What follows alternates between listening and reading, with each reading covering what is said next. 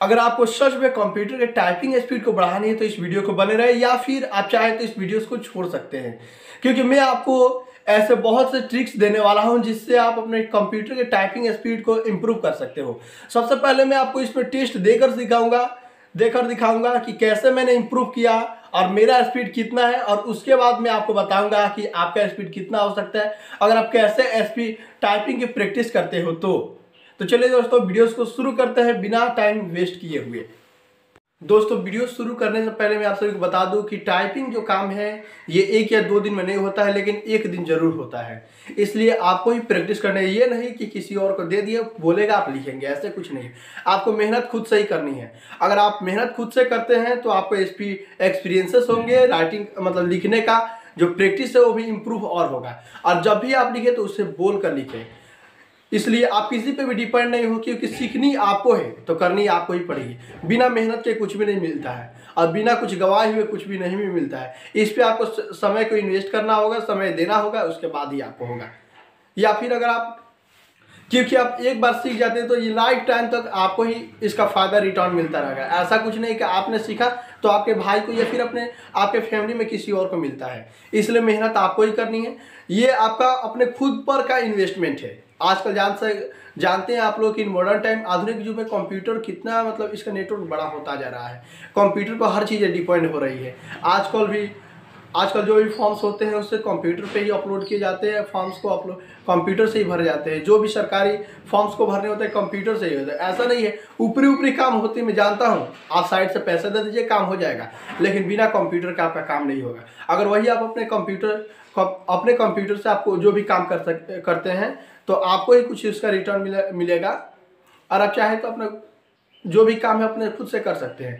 Computer के काम हो जाने से ये एक फ़ायदा ये है कि आप पार्ट टाइम भी इससे काम कर सकते हैं। ऐसा नहीं है कि दिन में चलता है, रात में नहीं चलता है। इसलिए आपको खुद से ही इसके, इस पर मेहनत करना पड़ेगा और आप, आपको खुद से इसका प्रैक्टिस करना होगा जिससे आपको इसका फ़ायदा मिले। आप समझ सकते हैं कि मैं आपको क्या कहना चाहता हूँ? तो चलिए दोस्तों, मैं आपको टाइपिंग सॉरी कंप्यूटर स्क्रीन पे लेके चलता हूँ। दोस्तों, इसके लिए सबसे बड़ी बात है कि आपको 90 डिग्री पे बैठे रहना होगा। जैसे देख सकते हैं, मैं जिस भी चीज़ पे ये मेरे ट्यूल पे बैठा हूँ, और मेरा ये जो डिस्टेंस है हाइट है, ये मेरा 90 डिग्री होना चाहिए। यानी आप एकदम सीधे बैठे होने चाहिए। ऐसा नहीं कि ऐसे बैठ गए, या फिर ऐसे बैठ गए, ऐसा कुछ नहीं होना चाहिए। इसमें 90 डिग्री एकदम मायने रखता है। अगर आपको सच में टाइपिंग स्पीड सीखनी है तो आपको 90 डिग्री पे ही प्रैक्टिस करनी है। तो देख सकते हैं दोस्तों कि मैं कैसे बैठा हूँ और अब मैं अपने सिस्टम्स को स्टार्ट करूँगा और अब मैं टाइपिंग स्पीड देने जा रहा हूँ। सबसे पहले मैं आपको इसके बाद की बटन के बारे में बता देता हूँ। तो चलिए दोस्तों, अब देखिए दोस्तों, हमारा जो बहुत से टाइप राइटर्स हैं, जिसको आप देखते होंगे और तो वे मॉनिटर पे देखते हैं और अपने कीबोर्ड में टाइप करते हैं। आप लोग सोचते होंगे कि वे कैसे कर पाते हैं तो उनका माइंड में सेट होता है कि कौन सा की कहाँ होता है। देखिए जैसे, यहाँ पे एक ये दाग जैसा है तो इस पर हम लोग ये वाला उंगली रखते हैं, ये वाला। और यहाँ से हमारा बैठ जाता है कौन से उंगली किस पे रखना है। तो देख सकते हैं दोस्तों कि ऐसे आपको दबाते रहना है, ऐसे। जैसे मैं प्रैक्टिस कर रहा था, अगर आप मतलब इसकी ज़रूरत हो तो ऐसे दबा सकते हैं। एक्चुअली मैं अकेले ही वीडियो बना रहा हूँ, इसलिए मैं दोनों उंगली नहीं रख पा रहा हूँ और अब मैं इस उंगली को दिखाऊँगा। जैसे मान लीजिए आपको ये वाली दबानी है तो ऐसे दबा दीजिए और ये वाली दबानी है एन तो ऐसे दबा दीजिए एम दबानी है तो ऐसे दबा सकते हैं। और आई चाहिए तो ऐसे दबा सकते हैं ओ ऐसे दबा सकते हैं पी ऐसे दबा सकते हैं। और ओपन कॉली ब्रैकेट इससे दबा सकते हैं राउंड कॉली ब्रैकेट भी इससे ही दबा सकते हैं इंटर भी इससे ही दबा सकते हैं। तो देख सकते हैं दोस्तों, बहुत से फ्रेंड्स बोलते हैं, आप कैसे टाइप कर पाते हो? भाई, ये सब प्रैक्टिस का नतीजा होता है, जिसके वजह से मैं आज टाइप कर पाता हूँ। तो देख सकते हैं दोस्तों, इसको आप लोग भूलिए नहीं, इसको आप भूल जाइएगा तो कीबोर्ड में आपको कुछ भी नहीं समझ में आएगा। मैं भी जब भी टाइपिंग करता हूँ तो इसको ही खोजता हूँ। इसको खोजने के बाद पूरी मेरी जो उंगली है, यो, वो हमारी इस पर बैठ जाती है आराम से। तो देख सकते हैं, और अब मैं आपको लेफ़्ट बटन लेफ़्ट हैंड से बताऊँगा। अब देख सकते अब बात यह आती है कि आपको अगर बैक स्पेस दबानी हो तो किसको दबानी चाहिए? इसको नहीं दबानी है। इससे नहीं दबानी है। बैक स्पेस को आपको लेफ़्ट हैंड से ही दबानी है। मैं पहले इसी से दबाता था, लेकिन काफ़ी पढ़ने के बाद मैं इसी से दबाना शुरू कर दिया। अब देख सकते हैं दोस्तों कि मैं अपने उंगली एफ़ पे रखा हूँ, और यहाँ से A S D F G ऐसे मैं भी प्रैक्टिस करता था। और देख सकते हैं मैं बैक स्पेस इसी से दबा रहा हूँ, इसी से आपको भी दबानी है। शुरू में आपको थोड़ा हाथ दुख सकते हैं, मेरा भी दुखा था, कोई दिक्कत नहीं, लेकिन बाद में प्रैक्टिस हो जाने के इसका बेनिफिट आपको और कंप्यूटर क्षेत्र में जाना चाहते तो आपको लाइफ टाइम तक मिलता रहेगा। इसलिए थोड़ा दर्द तो सहना ही पड़ेगा, थोड़ी मेहनत तो करनी पड़ेगी। और इसके साथ साथ बता दें दोस्तों कि अगर आपको टाइपिंग और सच में सीखनी तो आपको एक बुक लेनी होगी, क्योंकि आपको पता नहीं होता कि मैं क्या टाइप करूँ, क्या लिखूँ तो उसके लिए एक्सरसाइजेस होते हैं। उसको देख देख के आप टाइप कर सकते हैं। और धीरे धीरे अगर आपका उंगली बैठ जाती है तो आप आराम से अपना टाइपिंग स्पीड को इम्प्रूव कर सकते हैं। जैसे मान लीजिए आपको आर दबाना है तो इसी से दबा देंगे। टी दबाना है तो ऐसे दबा लेंगे। वाई दबाना है तो ऐसे दबा लेंगे। या फिर वाई हम चाहे तो इससे नज़दीक पड़ता है तो इससे भी दबा सकते हैं। परसेंटेज इससे दबा सकते हैं डॉलर ऐसे दबा सकते हैं एट द रेट ऐसे दबा सकते अब रही बात की शिफ्ट की अगर दबानी हो और परसेंटेज दबानी तो कैसे दबाएँगे? तो इस हैंड से हम लोग शिफ्ट की दबा देंगे और इससे हम लोग परसेंटेज ये परसेंट एट द रेट दबा देंगे। ऐसे होता है। अगर मान लीजिए आपको ओपन ये जो है हमारा ओपन कॉली ब्रेकेट दबानी है तो इससे आप चाहे तो शिफ्ट दबा सकते हैं, जैसे देख सकते हैं। यहाँ पर मेरा उंगली है। यहाँ पे मैं शिफ्ट कीज को ऐसे दबा रहा हूँ। और यहाँ से मैं इस उंगली से अपना ओपन कॉली ब्रेकेट या फिर राउंड कॉली ब्रेकेट को दबा सकता हूँ। तो देख सकते हैं दोस्तों, और रही बात की न्यूमरिक की को कैसे दबाए जाते हैं तो इसको अगर आप मान लीजिए इस पर हाथ रखें, उसके बाद इस पर लाइए डायरेक्टली और उसके बाद one two three four five one two three four five six seven one two sorry actually मेरा भी हाथ बैठ चुका है तो ऐसे लिखा जाता है, ऐसे लिखा जाता है। जैसे मान लीजिए नाइन दबा एट दबाना है तो ऐसे दबा दीजिए। देखिए मैं आपको देख कर नहीं बता रहा हूँ। मैं आपको अंदाजी बता रहा हूँ। जैसे एट दबा रहे तो ऐसे दबा दीजिए फाइव दबा तो फाइव पे एक उंगली इस पर भी रहना चाहिए। इसमें भी एक दाग है, देख सकते हैं। अगर आपको ज़ीरो दबाएँ तो इससे दबा सकते हैं, टू दबाएँ तो इससे दबा सकते हैं, ऐसे दबा सकते हैं। आप निमरी की को ऐसे दबा दीजिए और नहीं लिखा रहा है तो।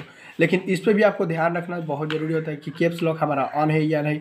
अगर आपकी राइटिंग में किसी भी प्रकार की गड़बड़ी आती है तो पहले इससे चेक करें और उसके बाद आप चाहे तो बिना कहीं देखे आप राइट कर सकते हैं। अगर आपको बैक स्पेस दबानी है सॉरी बैक स्पेस दबानी तो इससे दबा सकते हैं। और बैक स्लैश दबानी हैं, इससे दबा सकते इससे दबा सकते हैं लेफ़्ट हैंड साइड से मैंने बताया था। तो चलिए दोस्तों, मैं आपको एक टेस्ट देकर दिखाता हूँ। और सबसे मेन बात ये है कि आपको एक बुक ले ले ही ले लेनी ही चाहिए। ज़्यादा नहीं मार्केट में पचास से साठ रुपये के लगभग बुक पड़ते हैं। इसको ले लेने से आपको पता ये रहता है कि एक्सरसाइज कौन सा करना है, कौन सा कर लिए है। यही फ़ायदा होता है। ये फिर आप उसे ख़रीदना नहीं चाहते तो आप इंटरनेट से डाउनलोड भी कर सकते हैं। तो चलिए दोस्तों वीडियोस को शुरू करते हैं। वीडियोस इंटरनेट पे ऐसे ही आप लिखते हैं कि एक्सरसाइज बुक टाइपिंग टेस्ट ऐसा लिखते हैं तो आपको बहुत से साइट्स मिल जाती है जो आपको फ्री में बुक डाउनलोड कराना सिखाती है मतलब डाउनलोड करवाती है। तो वहीं से आप चाहे तो डाउनलोड कर सकते हैं। तो चलिए दोस्तों, मैं आपको एक टाइपिंग टेस्ट देकर दिखाता हूँ। दोस्तों मैं अब आप सभी को बताऊँगा कि कैसे आप टाइपिंग का प्रैक्टिस कर सकते हैं। सबसे पहले आपको ये जो उंगली है, जिस उंगली को आपको जे के पास में रखना है, यहाँ पे एक दाग सा बना हुआ है। इस पर रखते हैं और उसके बाद इसको रखते हैं। जैसे मान लीजिए A S D F G A S D F G ऐसे आपको प्रैक्टिस करना होता है। और एल एल के जे एच ऐसे होता है। यू वाई दबाना हो तो इसको ऐसे दबाएँगे टी को ऐसे दबा देंगे। हम लोग को ई दबाना हो तो ऐसे दबाएँगे। और इधर भी दबाना हो तो शिफ्ट दबा लेंगे और की कैप्स लॉक भी हम लोग दबा सकते हैं, टैब भी इसी से दबाएँगे। आप लोग देख सकते हैं कि मैं कैसे कैसे इसी उंगली से, इसी हमारे अपने दोनों हाथों से मैं कैसे दबा रहा हूँ, इसी तरह से आपको दबाना है। और सबसे बड़ी बात, आपको बैक स्पेस इस पर नहीं दबानी है। राइट हैंड साइड से हम लोग को अच्छा लगता है दबाना, लेकिन इसे नहीं दबानी है। इससे मैं भी पहले दबाता था, लेकिन इसके बारे में जाना, उसके बाद मैं इससे दबाने लगा। इसे दबाने से हम लोग का हैबिट जो है, ये सही तरीका नहीं है टाइपिंग सीखने का। इसलिए इससे ही दबाया जाता है, ऐसे। ऐसे दबाया जाता है। तो चलिए दोस्तों मैं आपको टाइपिंग करके दिखाता हूँ।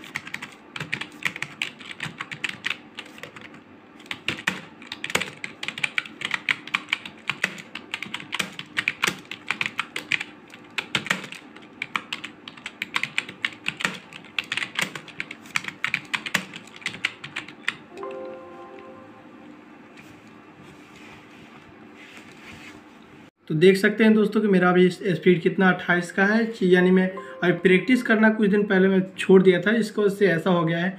और जो भी मैंने इसमें गलती कर रहा था, जो मतलब बैक ले रहा था, मेरा जब छूट जा रहा था तो तो मैं इसीलिए ले रहा था क्योंकि मैं इसको इम्प्रूव करना चाहता हूँ। लेकिन जब भी आप प्रैक्टिस करेंगे शुरू से तो आप में जितने भी गलतियाँ होती है, उसको आप छोड़ते जाइए नेक्स्ट पे चले जाइए। आप बैक मच कीजिएगा। अगर आप बैक लेते हैं तो आप नहीं सीख पाएँगे। और आप सोचते होंगे ये कैसे इतना जल्दी लिख पाता है तो इसके लिए आपको प्रैक्टिस भैया करनी होगी। बिना प्रैक्टिस के आप नहीं कर सकते हैं। इसमें देख सकते हैं कि टारगेट हमारा पचास का था एक्यूरेसी हमारा चौरानवे पॉइंट टू नाइन परसेंट था। देख सकते हैं आप लोग, इतना यानी मैंने सही मारा है। देख सकते हैं ये उनतीस का लगभग हमारा स्पीड है, लेकिन अट्ठाईस हमारा जो है ये हमारा एवरेज दिखा रहा है। इरस पचासी, सत्रह इरस हिंट फाइव दिए हैं हम लोग। ड्यूरेशन दस मिनट एक सेकेंड का था। तो आई होप कि ये वीडियो आपको काफ़ी पसंद आया होगा। ये वीडियो आपको अच्छी लगती है तो इसे लाइक शेयर कमेंट ज़रूर करें। और आप लोग भी टाइपिंग करना ज़रूर सीख लें अगर आप कंप्यूटर के क्षेत्र में जाना चाहते हैं तो। धन्यवाद। मिलते हैं अगले वीडियोस में। एक वीडियोस को बनाने में बहुत सी मेहनत लगती है। इसी बात पे भाई एक लाइक तो बनती है तो जल्दी से इस चैनल को सब्सक्राइब कर दें और अपने दोस्तों के पास शेयर भी कर दें और इसे लाइक भी कर दें। मिलते हैं अगले वीडियो